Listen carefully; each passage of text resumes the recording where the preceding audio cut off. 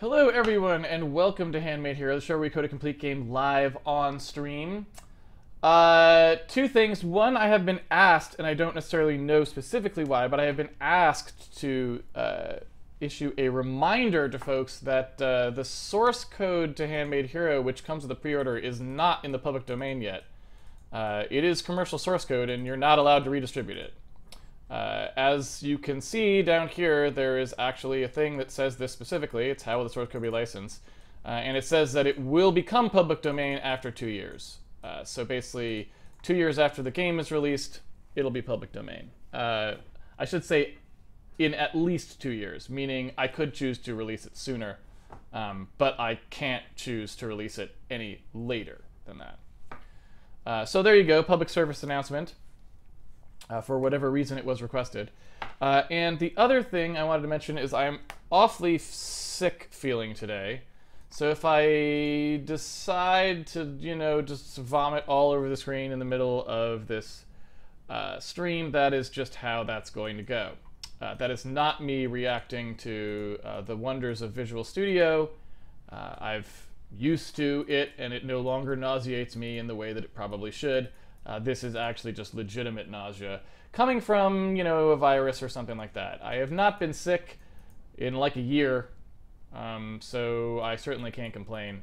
Uh, it was not like when I first started Handmade Hero and I got sick like three times in a row.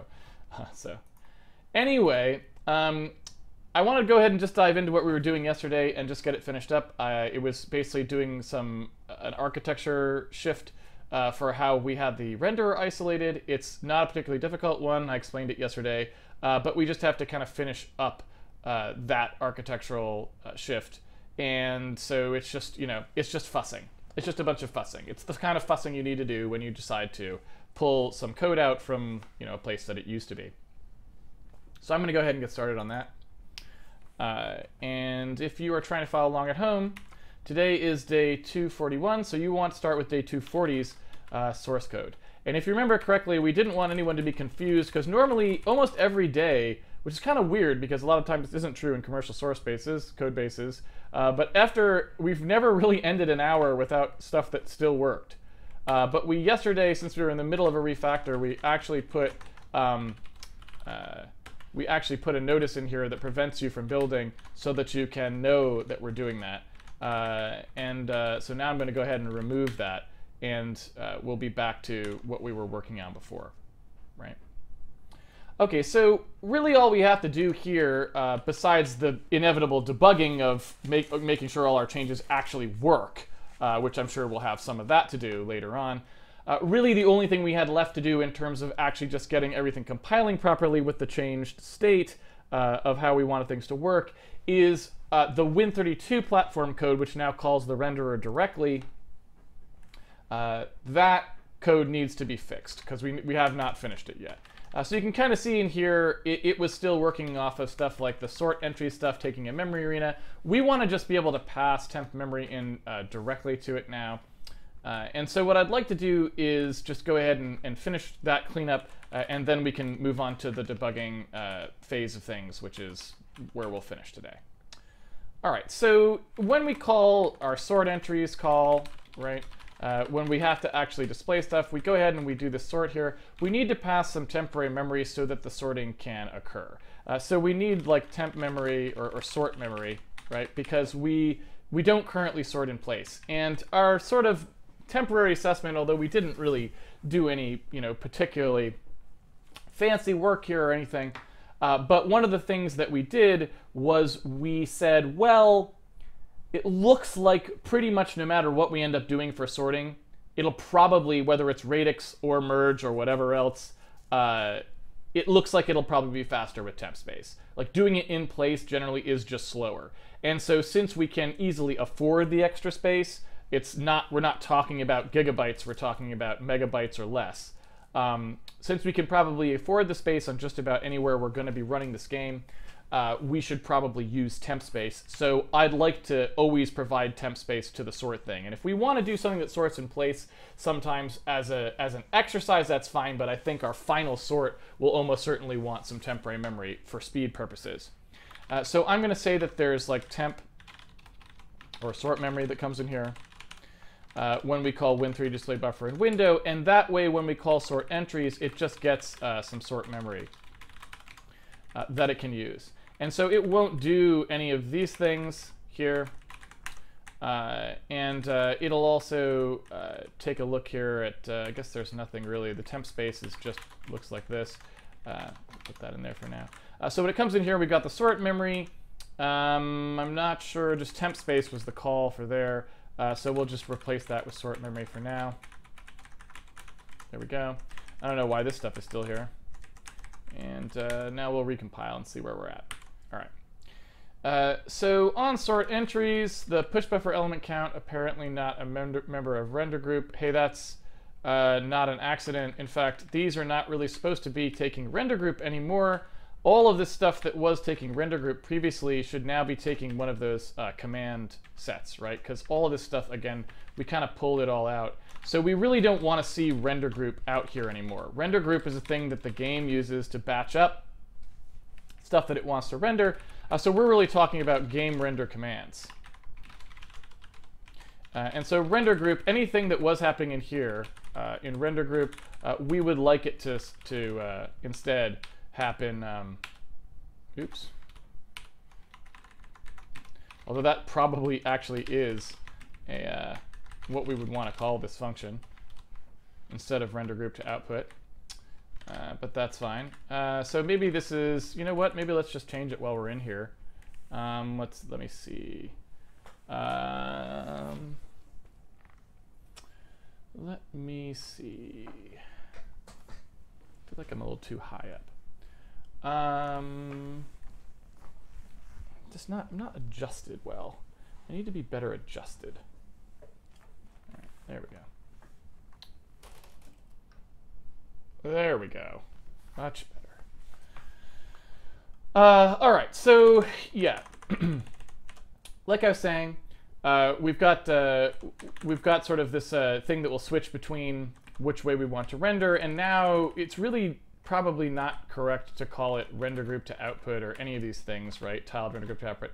We probably just want to call it, you know, uh, tiled uh, commands render or something like this, and that will take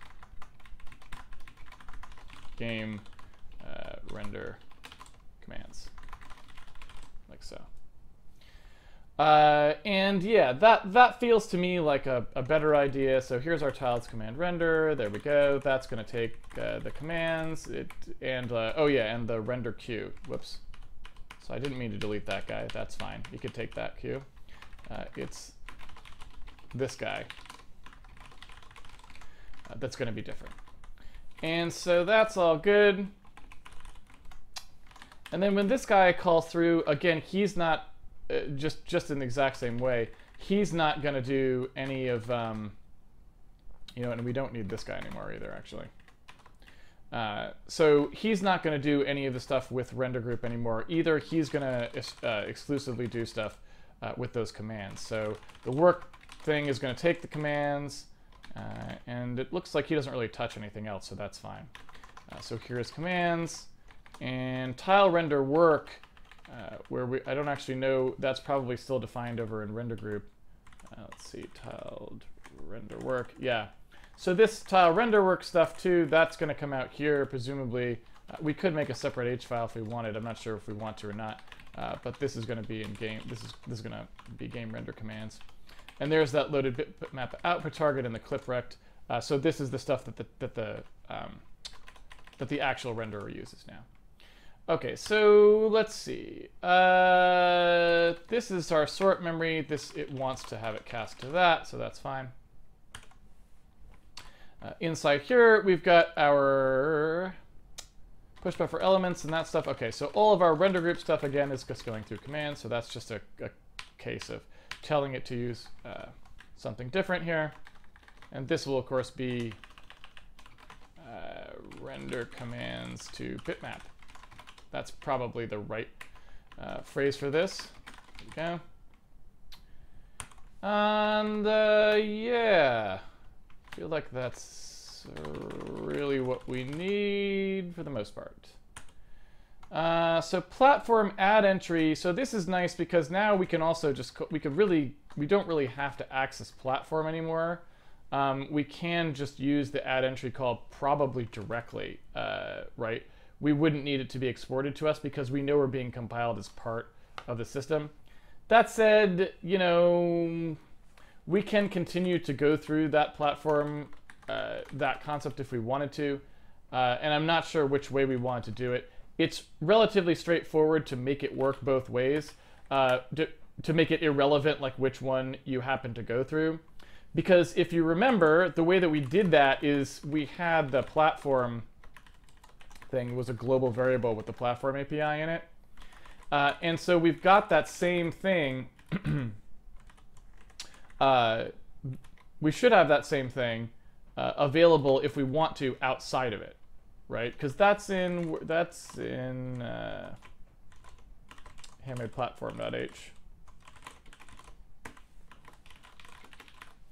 Right, that that platform API. Uh, we create one of those or we must. I mean, how do we not create one of those? Oh, you know what? It's probably, it's welded into uh, this guy. So it's in game memory there, right? So if we wanted to, we could easily take the platform API there and have that be available outside in here as well. So that, you know, like the render and stuff could get at it. Meaning if we wanted to, we could make the platform API uh, be something that's available out here. So maybe we'll just do that because that way we don't have any kind of weirdness uh, with, uh, with, you know, when we move code back and forth between the two, uh, you know, it doesn't matter. Does that make sense? It's basically like just makes it so that it doesn't matter where code exists, they can still call through it if they want to. That way we can cut and paste code into the platform layer and out of the platform layer, and we don't have to like port it every time or change the way that it works, you know? Uh, and that seems like a good idea to me. Uh, okay, so let's see. Temp Arena is... What's going on with Temp Arena? That we don't really want to use at all. We want that to just be our sort memory here, right? So our sort memory comes in and we just use it. Render to OpenGL, identifier not found. Uh, well, we should have OpenGL rendering support here somewhere. Um, so it's this. Uh, let's see. Render commands, OpenGL render commands, something like that. So this would probably be like uh, software render commands. You know what I'm saying? Uh, that seems better. All right, so there's OpenGL, there's, yeah, there's that, and then I can just sort of come in here and say, okay, tiled commands render is actually called that. And then they're uniformly named. Seems reasonable. All right, so then we got an output target. Uh, the output target is going to be our global bitmap, I believe, right? Uh, is probably the thing that we want to target there, and that, uh, and then we would want to, yeah, and then we would want that to be uh, workable as well. So let me, let me take a look here at uh, where we're at. OpenGL, display bitmap. So display bitmap via OpenGL is not an actual thing. We're talking actually about this is what we want. Uh, and here is all of these guys, width, height, memory, pitch, window width, window height, right? Uh, and software render commands, that guy takes uh, that guy takes a loaded bitmap as the output target. I don't think we have one of those. Exactly. Uh, what we have instead is a Win32 off-screen buffer, which is the global back buffer, right? Uh, and so that guy, the global back buffer, we can just use directly to, uh, you know, we can, we can just basically make a loaded bitmap that points into that because uh, it has all the same stuff, right? It's got, it's got the exact same uh, stuff in it. So the global back buffer and the output target, we can sort of do both of them. Output target memory equals global back buffer dot memory. Uh, and then we can just do like width, height, pitch.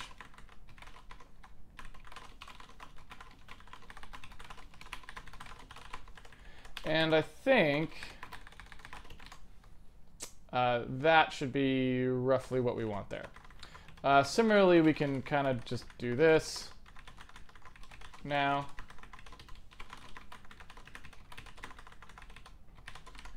Uh, and that will do our bitmap display for us as well. So that's now plumbing plumbing wise correct. Uh, this stuff, I guess, is really buffer is just output target. I, I could, I suppose, just say buffer arrow output target dot.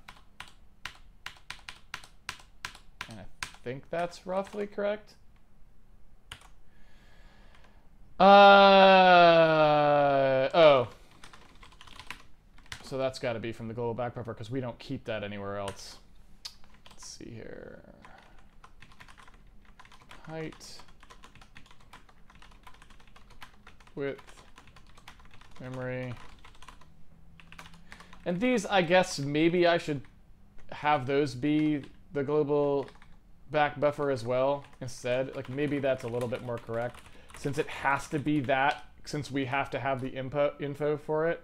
Uh, we could replace, uh, let's see here. I want to do output target dot with global back buffer dot. Okay.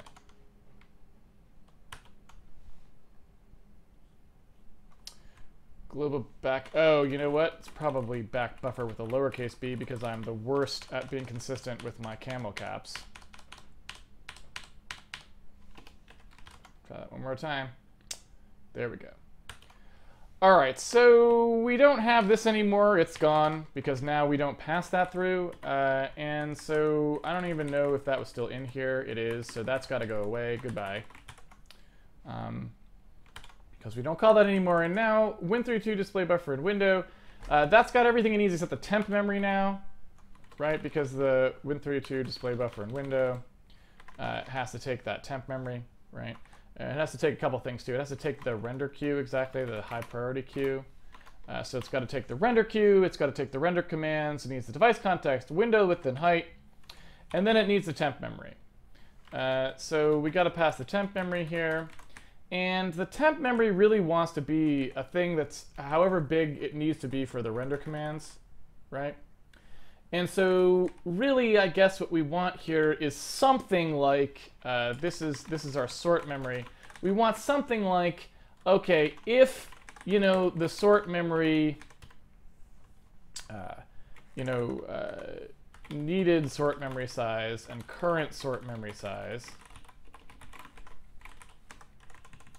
uh, we could say if the amount of sort memory we, we currently have uh, is less than the amount we need, then we'll get the amount we need instead, right? So we'll virtual uh, free and virtual alloc new sort memory.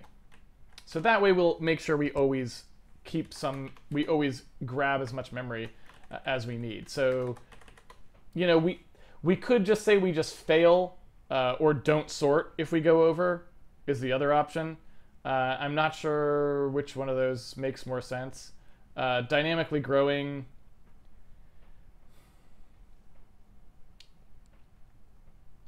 It depends what you want to do. Dynamically growing means that probably you're always going to be safe on most machines, but it does mean that, you know, in theory, you could overflow your memory. For some reason, you drew so many things and needed to sort them that you allocated more memory than you were expecting, or something. Um, I'm not sure that's really possible. And we could always, we always know what the upper bound is because it has to fit inside there, but I'm going to do it as allow it to dynamically grow because, like I said, I wanted to show you guys later how to make the arenas grow dynamically as well. And so I feel like we probably want to just make sure that everything can be flexible if you want to, and then turn it off if we want to lock it to a certain size. Because um, it's we could always just stop doing the if, right? And don't render when we can't sort or something. Anyway, uh, so we'll free the sort memory and then we'll allocate the sort memory again. That makes sense. Uh, and so that's really all I wanted to be able to do. So basically, like we would say, okay, the current sort memory, uh, sorry, the needed sort memory size is going to be however many render commands there were, right? So it's render commands, uh, push buffer element count, times the size of uh, the tile uh, sort entry. And so that is how much memory we would need to sort. And so if we don't have that much, we can just allocate some more. Right. Uh, and that way, once we hit our high water mark, uh, we'll never allocate. And in fact, we can just allocate off the bat something very high and make sure we're, we're in there, uh, right? Uh, so yeah. We have our Win32 allocate and Win32 deallocate. Uh, I guess I'll just call those, right? Win32 allocate memory.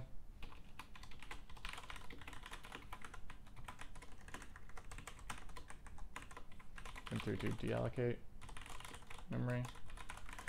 Uh, yeah, that seems fine to me. Yeah. Okay. Uh, and so then we just have our uh, current sort memory size. And let's just say that we start with like one megabyte of sort memory or something like this. Again, that can always be tuned uh, to something later if we want, which is, so that's more than presumably we would ever need. So this case would never get hit. Uh, and then we'd just say uh, our uh, void star sort memory uh, equals win32 allocate memory, current memory sort size. And I think that's it. Um, seems reasonable. So, uh, yeah, that's all we need to do. Of course, obviously, we need to do this uh, before we, you know, start the game running, certainly. So we, you know, we want that to be something that happens up here. Uh, and I don't know what else we would do. UMMs are not defined in the platform layer? Oh, weird. Well,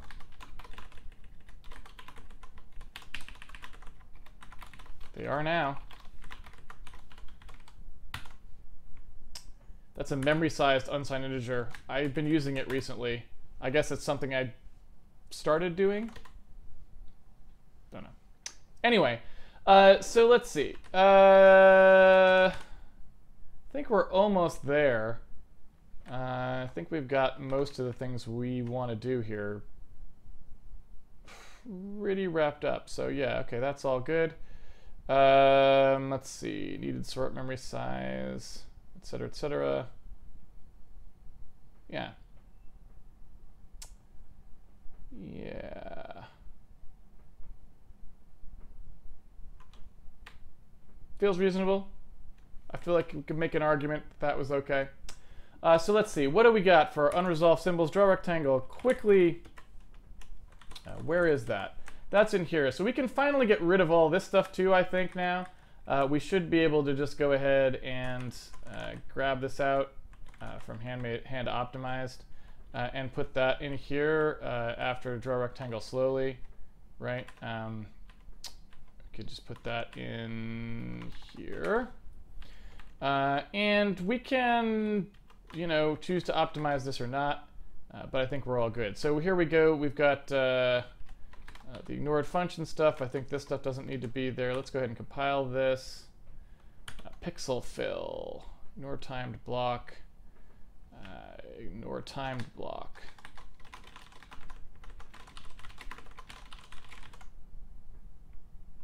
There we go.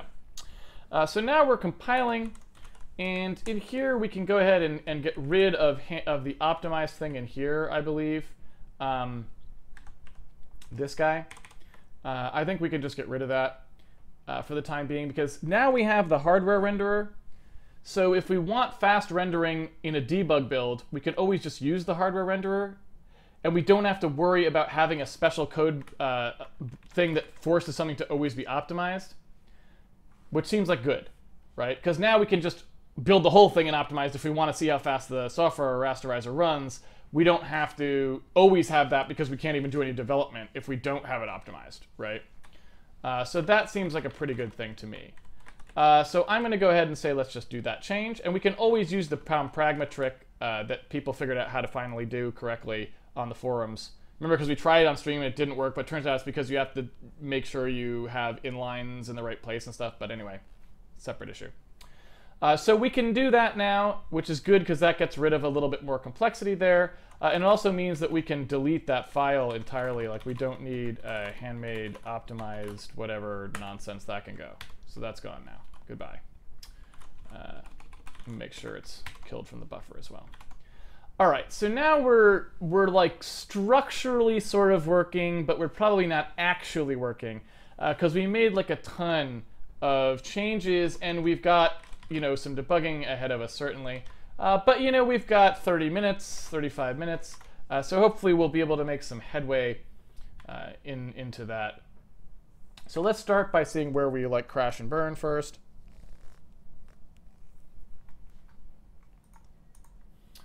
All right, so I think the first thing is we probably don't initialize.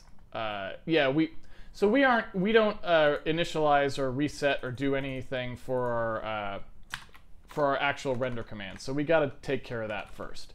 Uh, let's see here. There we go. Uh, so we've got this push buffer size push buffer thing. Oh wow, the we never. This is awesome. It's actually we never finished typing this in. So this virtual alloc is actually just it's setting the void push buffer to point to the address of the virtual alloc function. That's amazing. Uh, but anyway, uh, yeah. So we're going to do a, a win32 allocate memory here with the push buffer size. Uh, and this is something that we can move uh, also back up to the sort, like this, this same place we're doing the sort memory. Uh, so that seems like a reasonable thing to do. Okay let's push a little further through there. Oh, all right. Uh, well, that was somewhat surprising. I wasn't expecting that to work uh, the first time, but I guess it did. Uh, yeah. So that's fine, I guess. Weird. Um...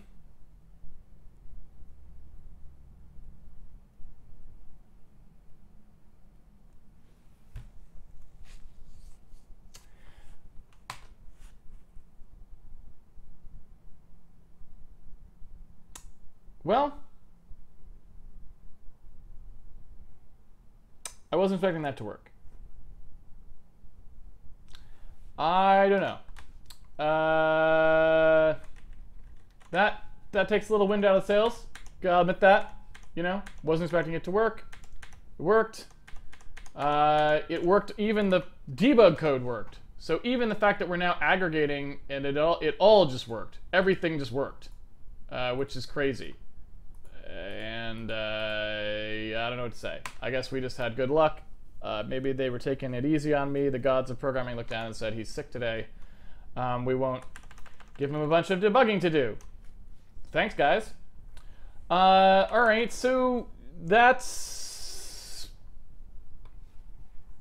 I would say I would have something more trenchant to say about that if I wasn't feeling ill. Uh, all right, so I guess let's at least test the software side. Probably that, maybe that needs some debugging. Um, and uh, here's Win32 display buffer and window, right? Uh, and so this is currently going through hardware and doing, uh, so, so the, this branch we're not testing at the moment. Uh, so maybe let's have a global variable that allows us to switch between hardware and software rendering or something. I don't know. Um, so here we go. Let's just have a global variable, uh, b32 use hardware rendering. Uh, and we can just say like, okay, global use hardware rendering is here. Uh, or maybe we'll do global use software rendering actually. Uh, that way the default value of false will be the one that we probably want to ship the game with.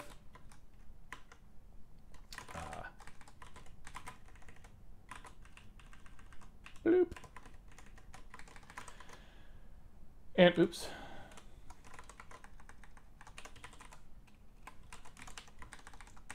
And so display via hardware equals true is still one that we use uh, here. Um, but this in hardware now goes away. Uh, okay, so now we've got a global variable uh, for that and I have to actually declare it correctly, use software rendering. And so now, in theory, uh, I should be able to change between hardware and software rendering, software rendering uh, by editing the value of that variable. So for example, if I came in here, right, and set a, a breakpoint or something, well, I got to set a breakpoint somewhere where it's actually going to be hit, um, which is like here, let's say. Uh, then I should be able to do something like saying global use software rendering. And uh, you can see that it's set to zero, so it's using the hardware. I can probably set it to one now, and then something will happen.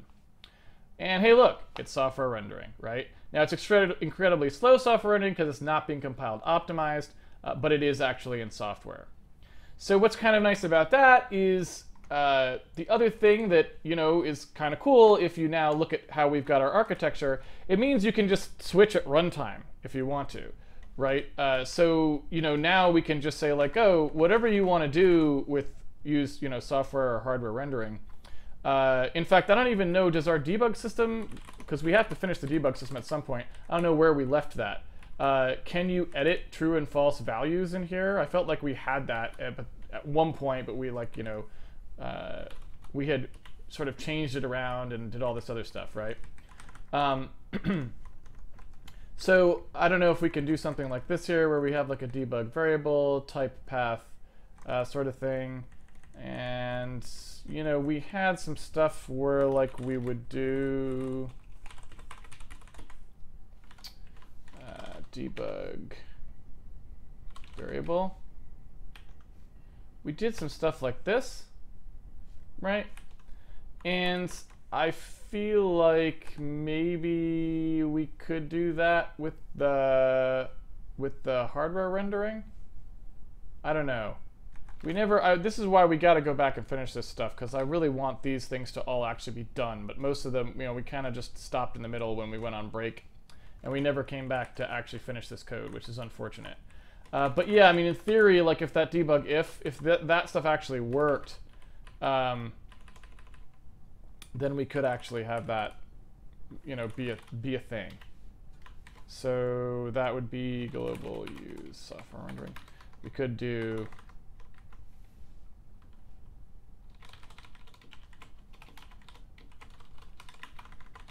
I don't know, does that work? Global constants render use software undeclared. Okay.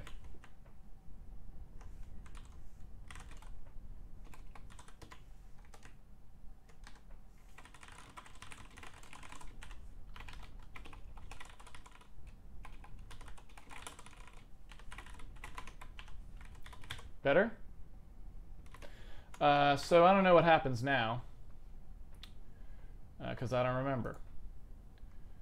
Uh, so I don't know if we can, we can't actually click on this, can we? Because we don't actually have that stuff.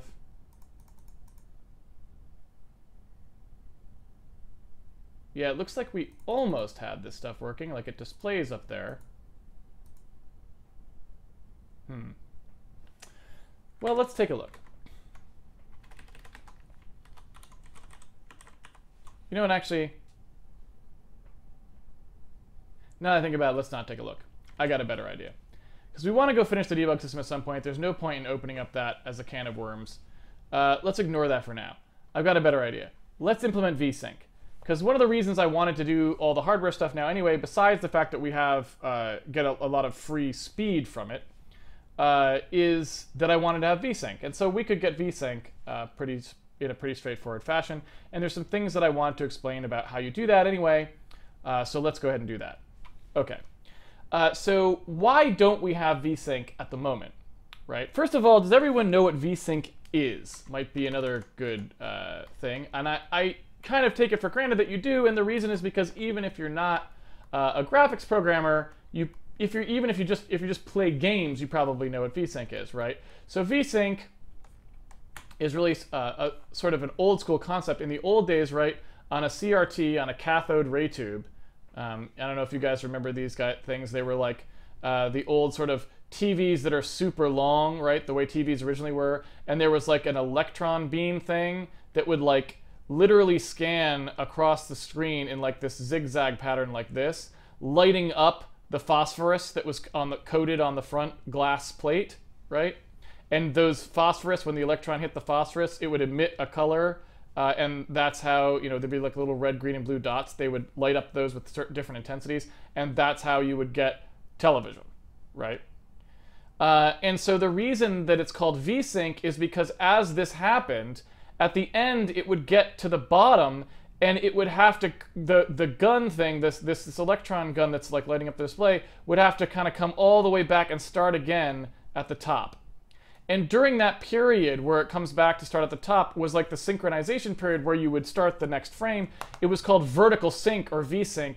And so what happens is that phrase became known as waiting for the right time whatever that means in your current system waiting for the right time to update the frame such that you such that the thing displaying it whether it's an LCD or a CRT like the old days or whatever doesn't like end up showing the user half the old frame and half the new frame right because what happens if it's in the middle of updating and you change the frame right in the middle is you'll end up with some portion of the frame is the old one and some portion is the new one that the user actually sees and that manifests itself as like a, a tear right? It's called tearing.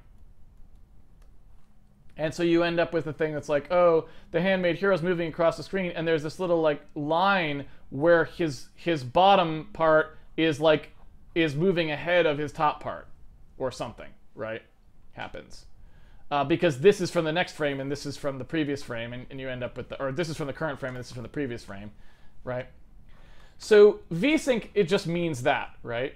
And we, we want it for our game to prevent tearing, certainly, but we also want it to try to get steady timing so that our timing is synced with the video properly. Um, and so what we can do is we can ask OpenGL for it. Uh, there's a thing called WGL swap interval, or it might just be GL swap interval. I don't remember. I don't remember whether it's a Windows call or a regular call. I think it might be a regular call. Uh, so it might just be GL swap interval. Uh, is the GL swap interval call, and what you can do is you can pass a value to this uh, here, which says how many frames do you want to wait before you swap, right?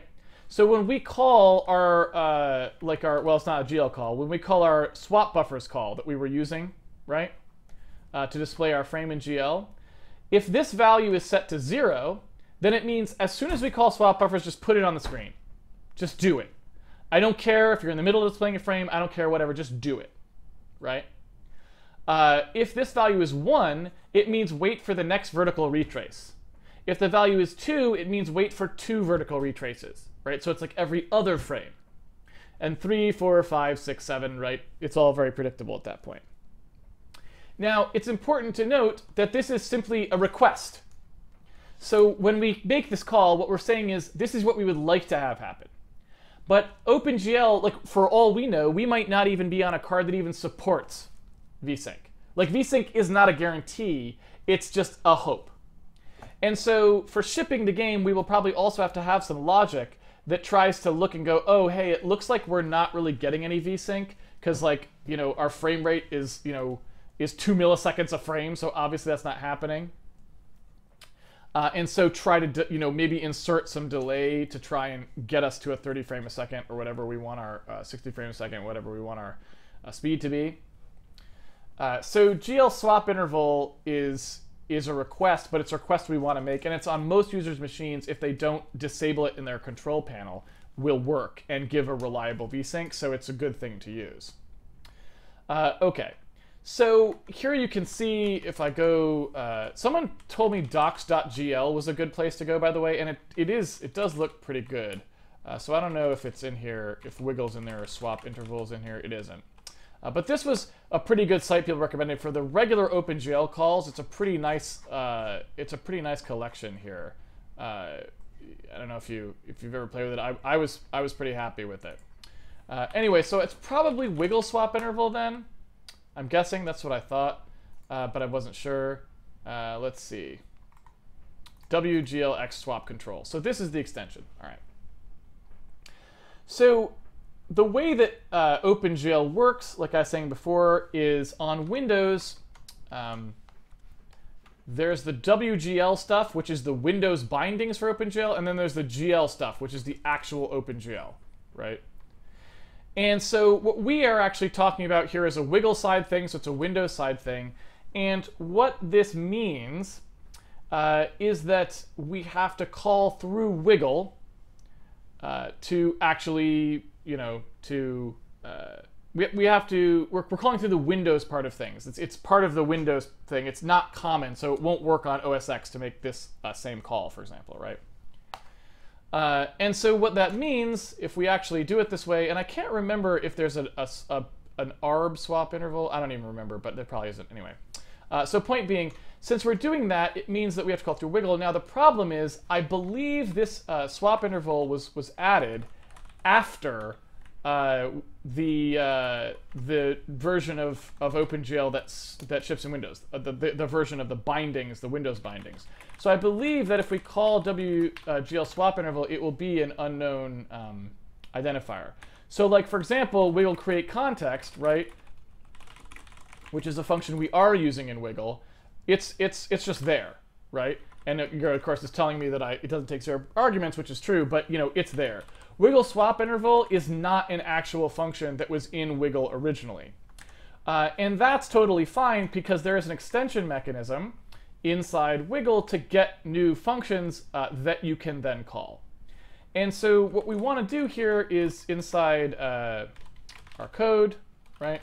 Here's our swap buffers call. Uh, when we init our OpenGL,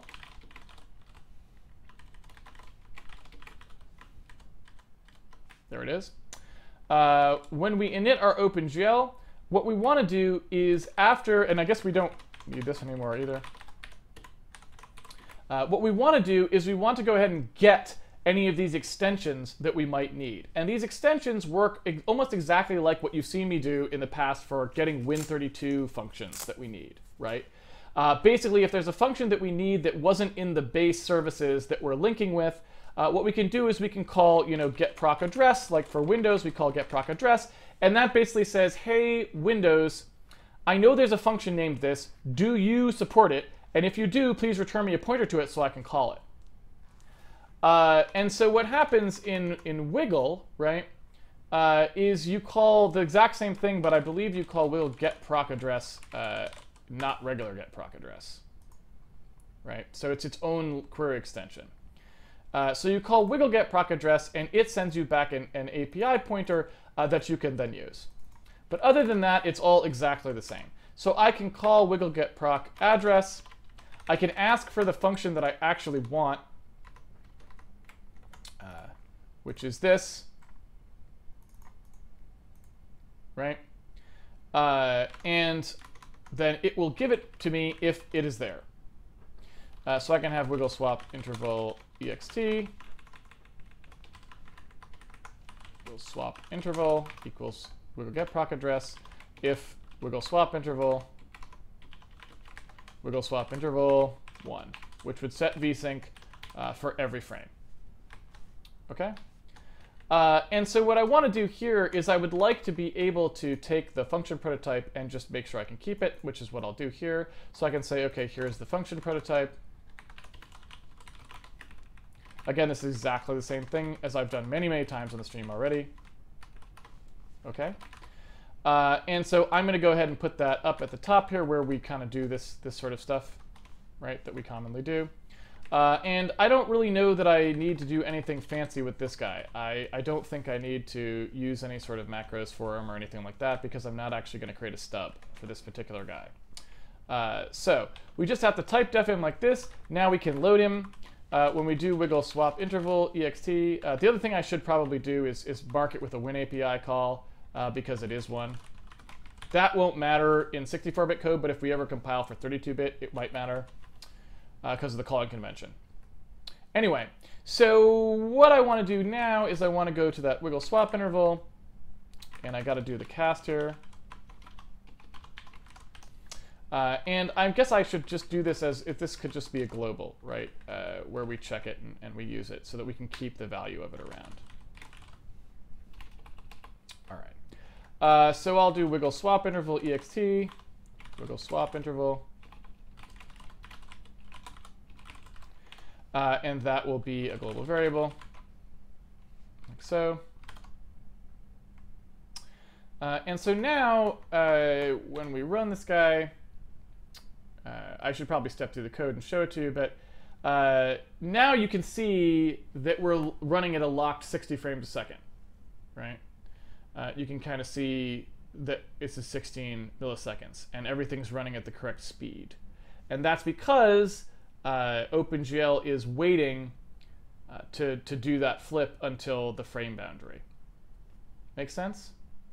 Uh, and so if I didn't call that, again, just so you can see what happens if I don't call it, in case you missed it from before, uh, or I call it with zero, for example, which says don't sync, uh, then we just go at the maximum possible speed that the graphics card allows, and you can see that it, we're running way, way faster, right? We're running at about eight times, uh, seven, seven to eight times faster, uh, and so the game would just run like it was on, you know, speed or something. Yep. Uh, so that's you know how that works, but we're not we're not quite done yet for a number of reasons. Like first of all, we don't know how long this actually is because it might be that the swap interval is actually like maybe it's 120 hertz display, in which case it wouldn't be 60 frames a second for frames. It would actually be uh, 120 frames a second, right? So we have more work to do there. We're not done yet.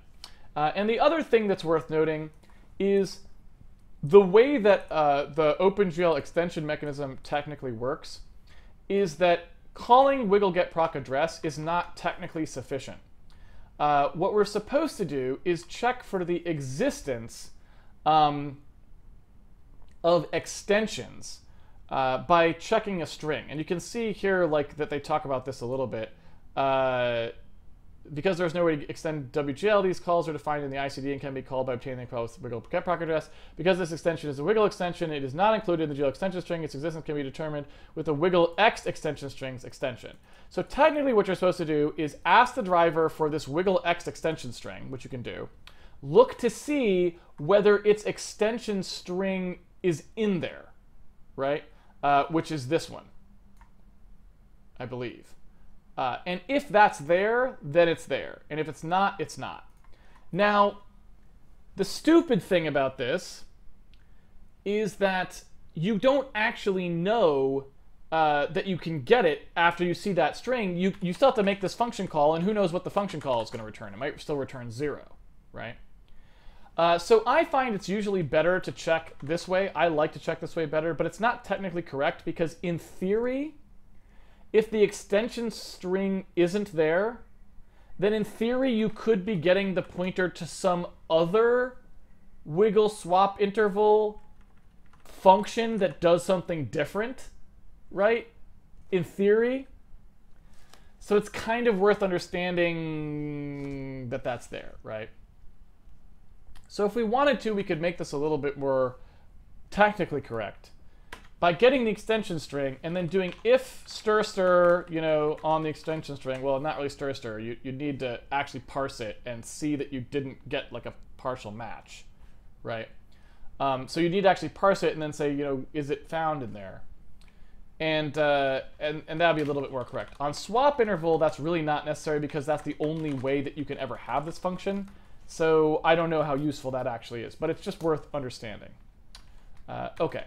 So that's one type of extension down, which is wiggle extension, and we needed that for our vBlank, right? We needed that for, for this. Uh, but there's another type of extension that we want, uh, because remember, right now, our rendering is actually wrong uh, in hardware. It's actually, our, our rendering in software is actually more correct than our rendering in hardware at the moment. And the reason for that is our, our hardware renderer doesn't understand the fact that we're using sRGB at the moment, right? Um, we're using... Um, we're, we're, actually using uh, a um, an encoding, right, an sRGB encoding for our textures. We're not quite exactly sRGB. We're actually using squared a squared mapping, so we square values uh, in the textures, which is not uh, really the correct gamma ramp, at least not quite. Uh, so you know, it's it's it's not exactly correct uh, to say that it's sRGB, but uh, we we would like ideally the graphics card to be doing uh, sort of the sRGB rendering uh, for us, right? And so that's another thing that we could, if we wanted to, uh, turn on. And so let me let me uh, just at least point you in that direction.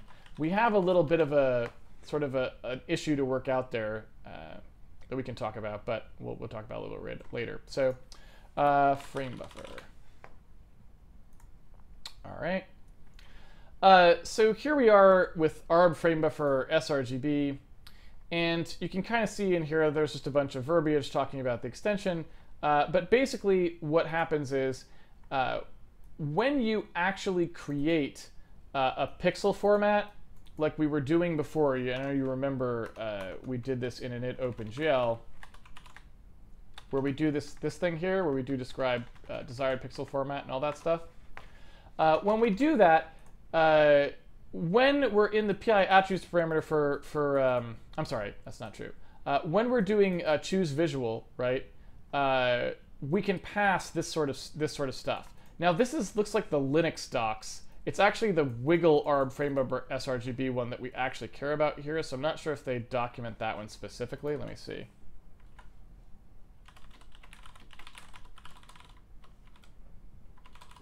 Doesn't look like it. Uh, let me just let me see if they've got it. Let me see if they've got an example somewhere. I don't know if they do or if they don't. Uh, but basically, when we create our frame buffer, we can make it be uh, sRGB if we want it to be. Uh, so it's this is our capability flag, but where is the actual? Where is the actual? Well, let's let's see here.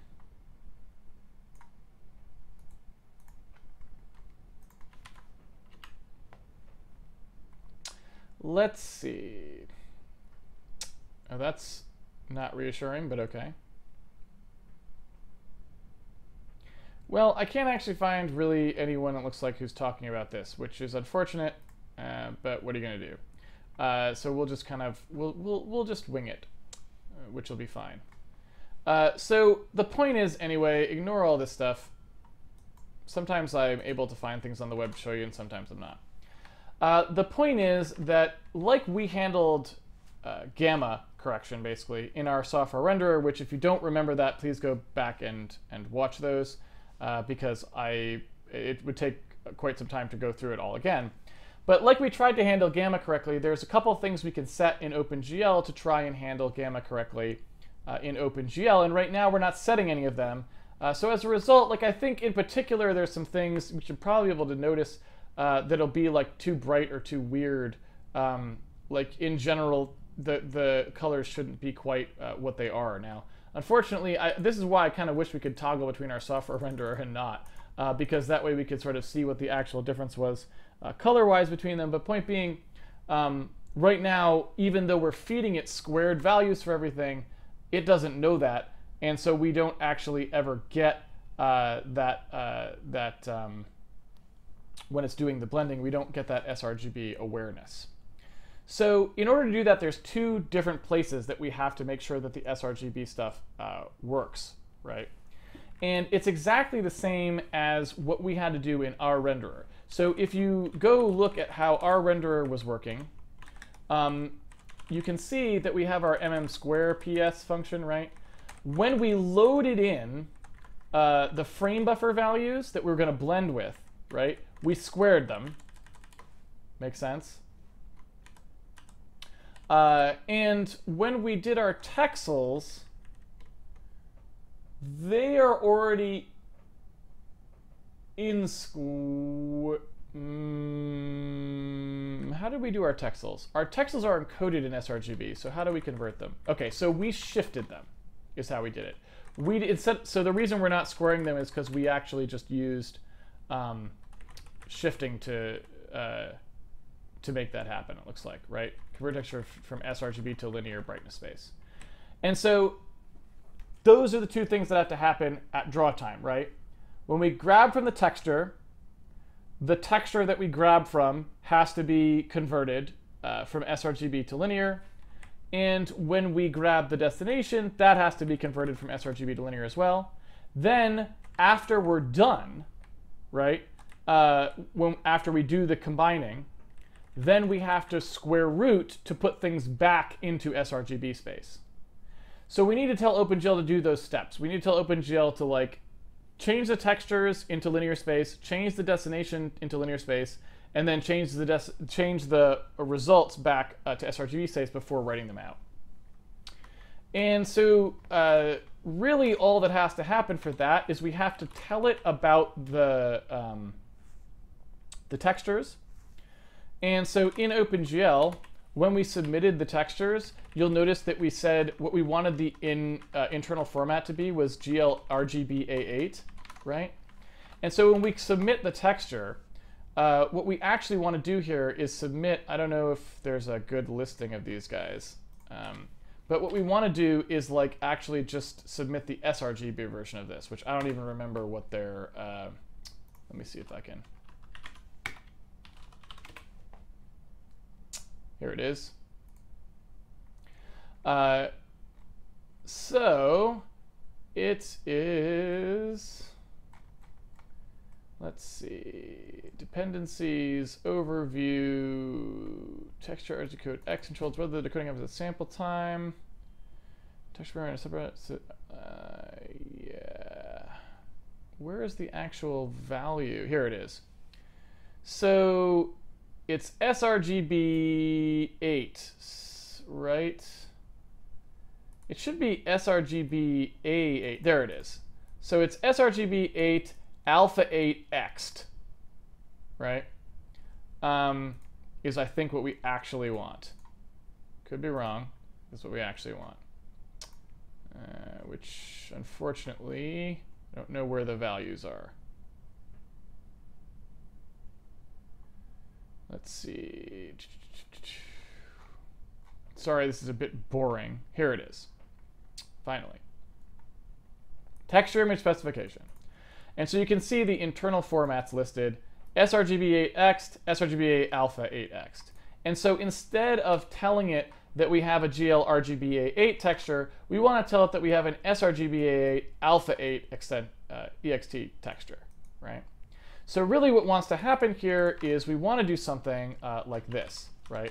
We want to do something like whatever the type of this thing is. I believe this is a gluint, right? Uh, so we have our uh, default internal or OpenGL default internal texture format, right? And that format is going to be, by default, uh, RGBA 8. But if we detect that the extension is present, then we will set it to sRGB8 alpha 8x, which means now our textures will always be sampled properly, right? And that doesn't actually help our, um, that doesn't actually help the frame buffer part of things, but that will fix uh, the texture part of things.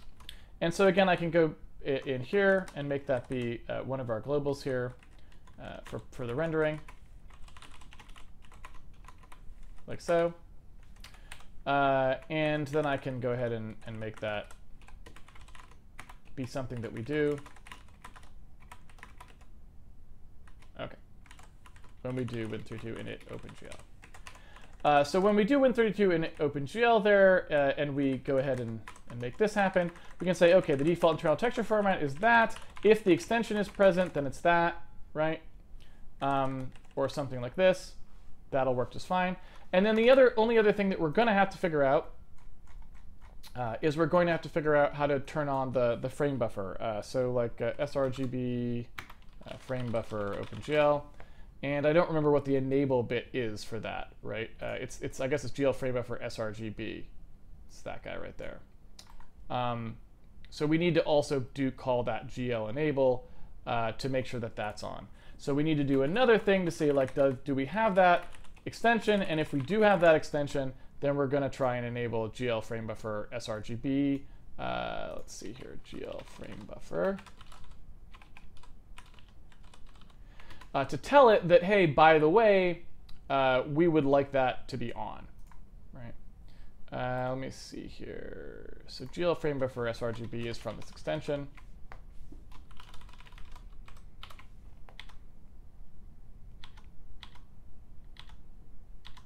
It actually talk about it anywhere? Not really. So anyway, uh, so that's essentially what we have to do. Like we have to do something like extension, like OpenGL extension is available, uh, like this uh, in both cases, and then we would just do that switch. Now these values are of course not don't exist in our un you know extended version of OpenGL, so we will have to define them uh, to be something uh, to be whatever their actual values are, right? Uh, and I thought the extensions were supposed to have what they are defined to be. I thought that was supposed to be in, in the extension, uh, but I don't actually see it here anywhere. Uh, but I suspect GL extension header file, we could just use some stuff here. So for example, GL frame buffer sRGB. And what I've done here is I've just gone to someone's header file, like the OpenGL uh, uh, core ARB extensions. Uh, they just have them all in one giant header file. We can just grab the ones we actually want. So we want this one, right? Uh, and we want sRGB uh, alpha 8. Oops.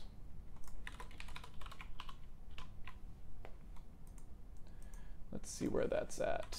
sRGB, oops, GB8, alpha 8. There it is. Uh, so that's uh, those are the two that we actually want. Now, GL sRGB8 alpha 8 is not the Ext one, which I wonder if that superseded it. It may well have, because uh, these sorts of things, as they go through uh, their little, yeah, it did. Uh, so the way that the OpenGL uh, ARB, ARB, just explain this. ARB, I believe, stands for Architecture Review Board. Right? So what happens is the way these extensions work is somebody proposes an extension and implements it in their hardware. So like NVIDIA says, oh, I want to implement this sRGB thing. They do it, uh, and then they propose it to the ARB as an extension. Uh, it's already implemented in their drivers with their name, right? It'll have like an NVIDIA extension or, or something. If it gets extend, if multiple vendors decide to implement it, the name becomes EXT. And then if the architecture review board says we want to make this a permanent part of OpenGL going forwards, then it becomes an ARB. And so the names change a lot. They go from like vendor specific to multi-vendor, then to ARB. And then they're just integrated to OpenGL entirely. Uh, and so this is the final one that got actually in, uh, put into ARB. And so those are the, the values that we actually would want to ask for, I believe. Now, I'm going to actually comment these out. So we're not going to even check to see if these extensions are available. We're just going to go ahead and call these right now, uh, which is not safe. Uh, so we don't actually want to do that. Tomorrow we're going to want to actually make something that does check to see if it's there. But for now, we don't actually have to do that. We can just call it and blissfully be unaware of it, right? Uh, so this guy, these guys, if, if these people want access to these globals, um, we're going to have to do something like that.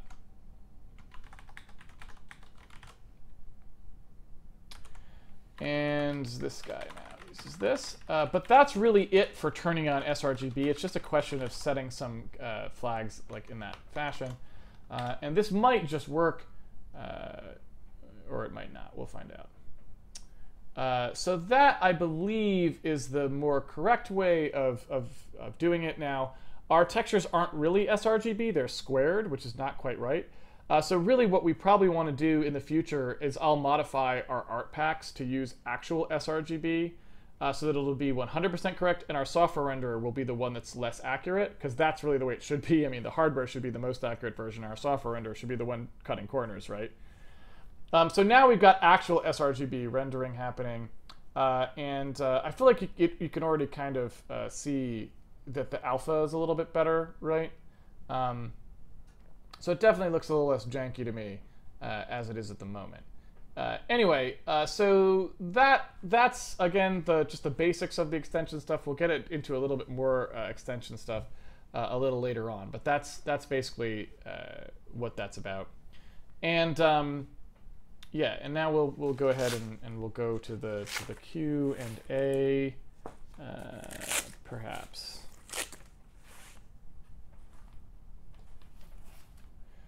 Uh, and yeah, you can sort of see that, that there's like, I feel like there's a lot less sort of fringing around the alpha as well, which is nice. Um, but again, it's still going to be a little bit wrong uh, just because of the way the, uh, because we're not, our, our textures are not actually sRGB. Uh, okay.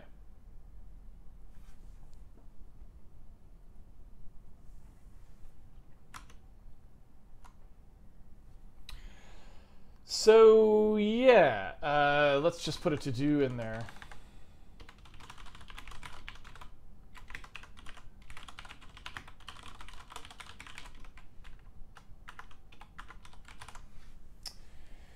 Uh, let's see. Will you be implementing multiple render paths depending on your OpenGL context version or available extensions at runtime?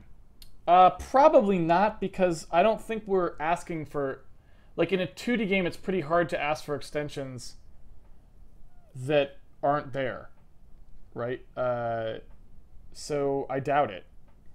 I mean, if if there might be, like if we find there's one thing that we want to use that we just don't know if it's there, then we, might have a little predicated thing that's like, if it's here, do this, otherwise do that.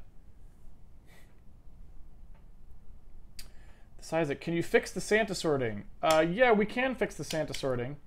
Um,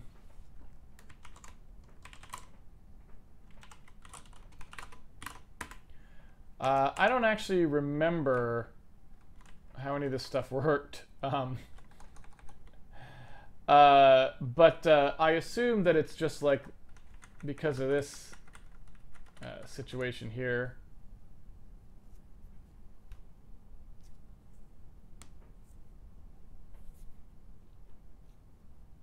So what is, which one is the Santa situation? Is it is it intro layers four? I think it's this one. So I'm not sure.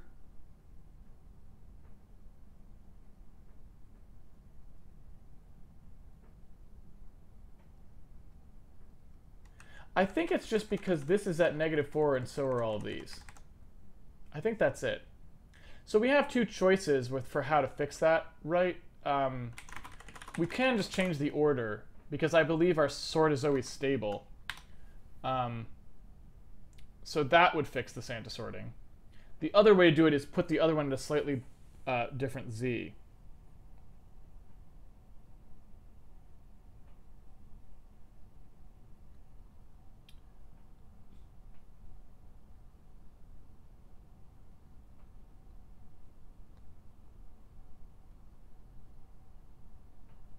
Just wait for it.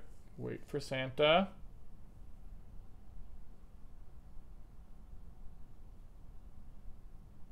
There he is. Why is he all... I don't know what's going on there.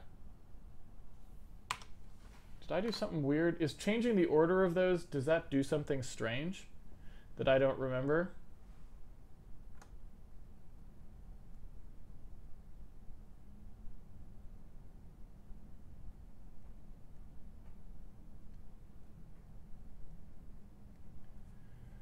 It's very confusing. I don't really know why that was happening. I'm going to try putting the background at a slightly further distance just to see what's going on there uh, while I answer another question.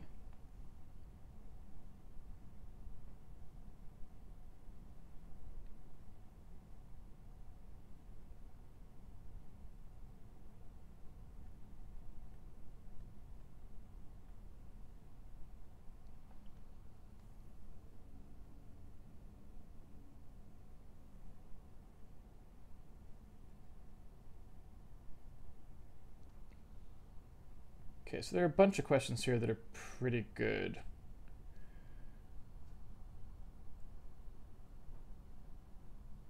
Weird, so for some reason changing the order really mattered a lot there. Why is that? Is there something special about the first layer that I don't didn't know about? It must be that the sort isn't actually stable. I don't know. That's weird. Anyway, that's fine. Uh, let me take some more questions here. Uh, okay. Your maximum frame time is about 2 to 3 milliseconds without VSync enabled, but with it enabled, I see it stays at 16 milliseconds most of the time, but sometimes goes to 17 milliseconds. Does that mean it will skip a frame? Is that a problem with VSync? Uh, no, so that's that's not really what's happening.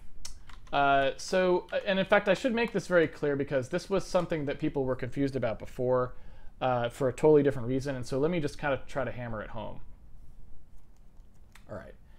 Uh, so in our code, we have a call to swap buffers. So what happens is everything, step one, everything. Step two, swap buffers, right? Step three, everything. Step four, swap buffers. And so on, okay? So this is the game loop, right? The game loop does all the stuff, it calls swap buffers and all the stuff, swap buffers, all the stuff, right? All the code in between the swap buffers. And swap buffers is the thing that tells OpenGL we're done with the frame. So go do all the stuff and, and display it, right? And some people were under the misconception that this means wait for that. It doesn't. Uh, swap buffers just means that we're done. It doesn't mean that we stop. So it can roll straight on through the swap buffers. It'll, it's just the, telling the driver you can go kick off a frame. So what actually happens is we plow through here, we call the swap buffers call, that kicks off the graphics to let it know it can start rendering, if it hasn't already, which it probably actually has started processing, right? Uh, but we keep going, and then we get to the next swap buffers, and we kick that off too, right? Because remember, when we don't have VSync enabled, we only take two milliseconds to sync a frame. Okay? So we sync a frame, this is two milliseconds, we sync another frame in two milliseconds. We could even sync a third frame, potentially. Right? And this frame will not even have been shown on the screen yet. Then what will happen is at some point, depending on how the graphics card has chosen to set itself up, right? uh, whether it's uh, double or triple buffered, right? Uh, at some point, we'll go to a swap buffers, and it's like I'm too, I'm, I can't take any more stuff. I'm too far behind now. And that is when we will actually wait. If that makes sense. Uh, so as far as I know, and I have not looked at this recently, so maybe this is old and someone's going to tell me, no, that doesn't do that anymore.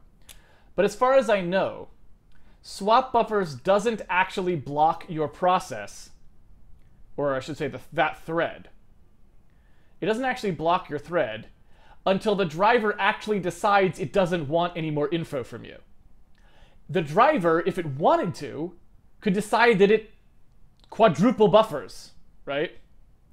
and then it's four frames ahead all the time. Our game is four frames ahead, and you know the uh, the graphics card is is sort of chewing on all those frames and displaying them, right?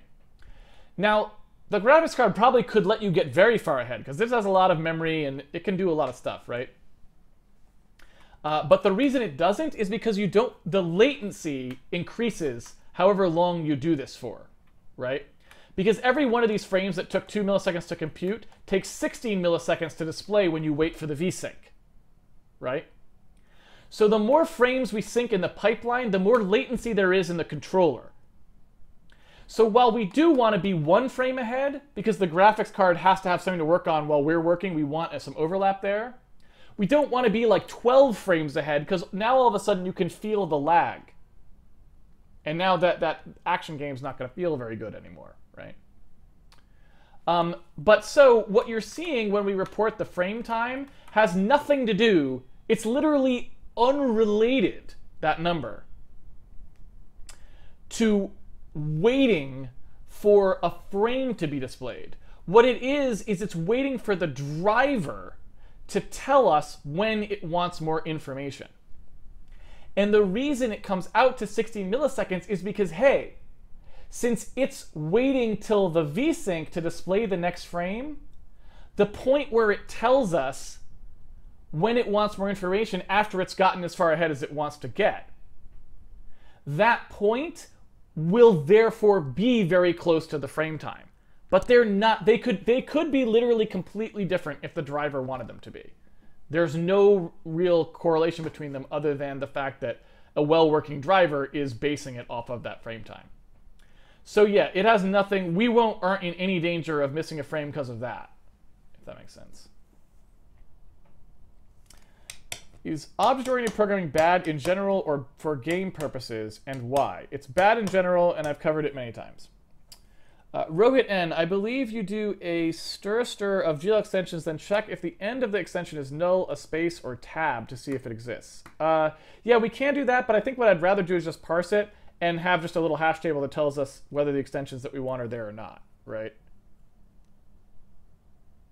Soy sauce the kid, is there any reason to make the swap interval larger than one? Yes, and we will probably do it ourselves on Handmade Hero.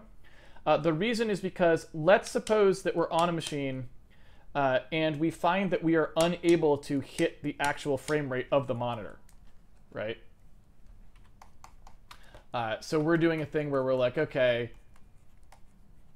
uh, you know, we wrote frame B, C, whatever, and this each one of these is like at 60 milliseconds, 16 milliseconds or whatever. But the machine's really slow and we're not hitting it, right?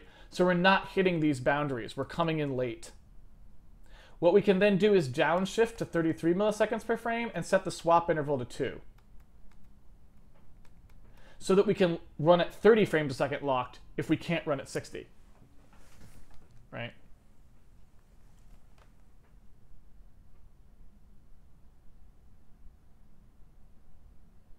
Is there an asynchronous way to do vsync? I mean, a way to ask OpenGL if it has displayed the frame or how much time you have to wait until the frame is going to be displayed. Uh, not that I know of. There might be in like in very recent OpenGL, like 4.x.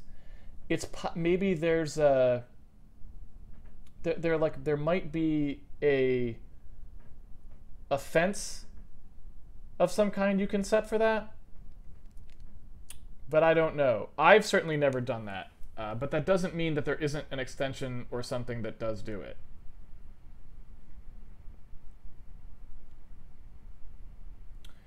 Uh, Ezio Auditorires. How would you allow the game to run at a non 60 frames a second rate and not speed up, slow down the animation speed? Uh, well, it's pretty straightforward, right? Um, our game already just runs off of a DT. Uh, so this value right here is just as long as when you run the as long as when you call the game game update and render as long as you pass the correct value for that for whatever your update rate actually is then you're fine Elvin, apologies if you explained this before, since rotation is stored in the upper 3x3 part of the transfer matrix and scale is stored in the 0, 0, 1, 1, 2, 2 diagonal. How do they play well together? I mean, wouldn't change the rotation or scale affect the other? Uh, let's hold off on that question for a second. Let me see if there's anything related uh, to what we're doing right now first. Uh, quickly, games. You mentioned 120 hertz. How do you handle skipping every other VSync event? Do you just detect the mono refresh rate? rate, and if 120 hertz swap twice in a row. Uh, yeah, basically, if we detect that the monitor refresh rate is higher than 60 hertz, what we can do is set um, swap interval to whatever that divisor is. Or at least we can try. Connor Rents, if VSync is disabled in Windows, will there be no VSync at all? Correct. If VSync is disabled in Windows, we will not get it. Um, that's why I say it's a request, not a, a guarantee.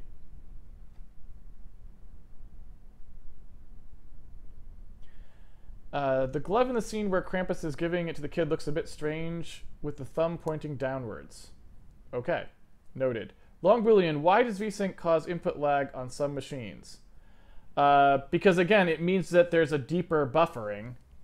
Like, VSync adds latency. Just period, right? Because it's delaying when a frame is, frame is displayed until the point when it won't tear. And so there's always going to be a little bit of latency there. So it doesn't add much, uh, but it can add some. And especially if the frame rate is low, like if the frame rate's only 30 or frames a second or 15 frames a second, 20 frames a second, uh, you end up with with a lot with some some possibly noticeable time being added in there. What are the trade-offs of storing the textures on disk in the same linear color space format you are using? Um, you don't really want to store textures in a linear color space because uh, you waste a lot of bits. Uh, the human eye doesn't perceive dark tones um, the same way it perceives light tones. Light tones need less data than dark tones to represent proper, properly, so that's why we have sRGB in the first place. So in order to get better color quality for the same number of bits in your textures, you want to store them non-linearly. And that's why we do this nonsense with changing from the nonlinear space to the linear space to operate on them and then putting them back. It's just so that we don't use unnecessary amounts of data. CFlickster, any update on when to implement sound effects? Uh, who knows, whenever we decide that's a good idea. Garlando Bloom, what is the bottle full of that? What is the bottle full of that John posts on Twitter? I have no idea. Miblo, we're still fading from to the desktop. Did you have to re-implement that? Is it being hardware rendered? Is the fade here to stay? Uh, so the reason that that's back is because uh, when we switched OpenGL to being to not be double buffered and instead to be uh, just background blit or whatever, uh, the same thing that fixed OBS allows our over-the-top window to still work. So that's why that's working.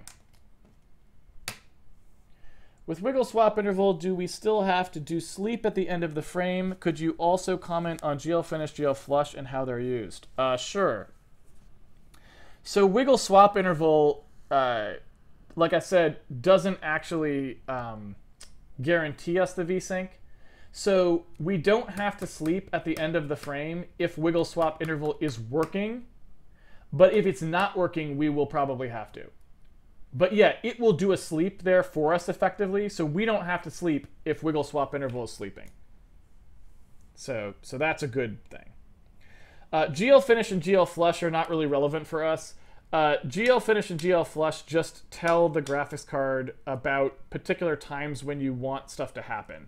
So for example, if you want to force all rendering to finish, you can call GL flush, I believe. I don't remember which is which. They each, one of them is a, a more stringent guarantee than the other, uh, and I don't remember uh, which one is the more stringent. I never call these functions. Um,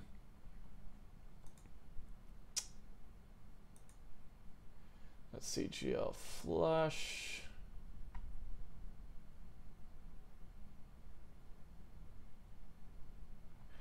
Uh, yeah. So I guess what I would say is GL Finish, uh, from briefly reading that, GL Finish is the full completion one. So basically GL Finish says, I want to wait until you finish all the rendering that you have to do, and don't come back to me until that's true.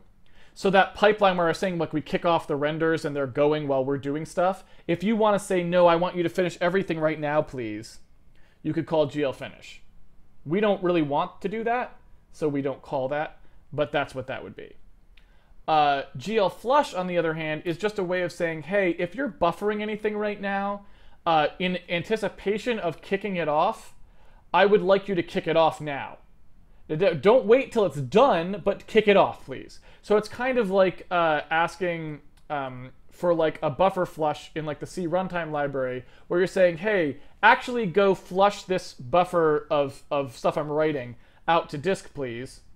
But it doesn't necessarily guarantee that the operating system has finished writing it, right? It's just saying, hey, kick off the write.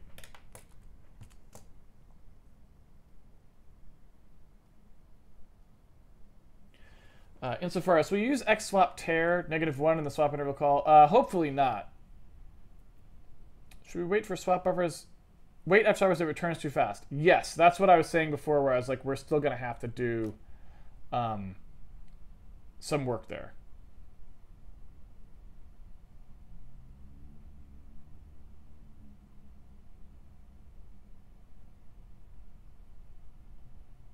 Would it be better to minimize or maximize how much you do per frame? Uh, like, would it be better to make your program take any time that it would be waiting for vsync and instead focus it on performing more computations, even potentially computing things ahead of time? Uh, but that's what we are doing, right? Um, that's exactly what what's what the swap buffers currently does. Um, like I said, you come through to your swap buffers call, and if if it can keep buffering up, it will. But if you've reached the end of the amount of buffering that the GPU is going to do, then you stop. So you already are able to get quite far ahead, right? And but you don't you just you got to stop at some point otherwise your game runs off and now your input lag is way too big, right? Um, so you have to only buffer one or two frames. You can't let it go too far. Uh, Tiberian, how do you easily detect if vsync is active? Uh, you just gotta check the monitor resync, refresh if you can, uh, and then see how long it takes and make sure they're similar, right?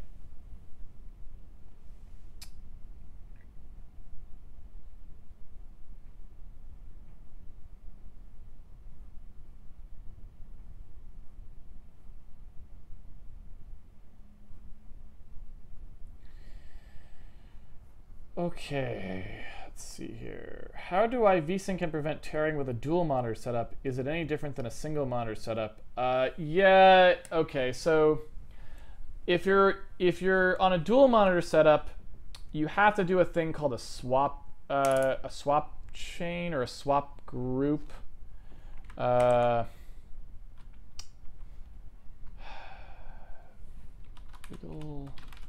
swap group. Uh, you got to do this stuff. Um, basically, what you do is you say like, okay, I'm gonna like issue all the rendering calls I need to each of these contexts, one for each of the windows that I'm trying to draw. And then depending on, uh, you know, all of those, depending on, assuming that you want them all to update at the same time, maybe you have, you know, if you have 12 monitors and you want six to be one time and six to be the other or something, but assuming you want them all at one time, they're all added to something called a swap group. And then you say, okay, I need you to go ahead and, and update the swap group now, right? And then that'll flip them all at the same time.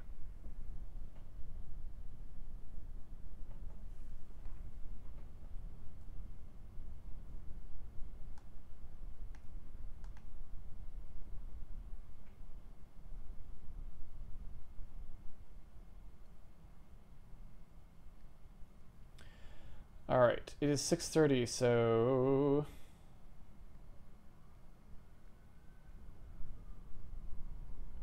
I think I will conclude.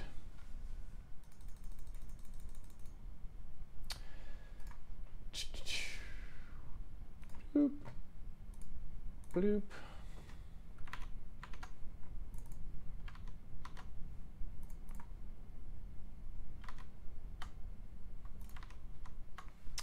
All right. I think that's everything.